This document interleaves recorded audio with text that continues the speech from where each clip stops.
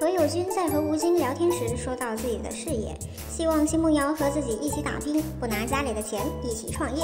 吴京在一旁也止不住的一直点头。有一句话让小伙印象尤为深刻：“我不是无限额度的富二代。”何猷君有着这种自觉，真的让人 respect。而奚梦瑶也愿意一起陪他，这是什么神仙爱情呀？我啊，正式约会，呃，日本，不可以。算了吧。